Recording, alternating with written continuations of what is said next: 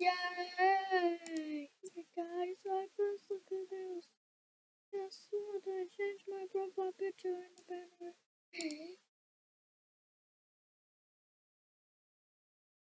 June it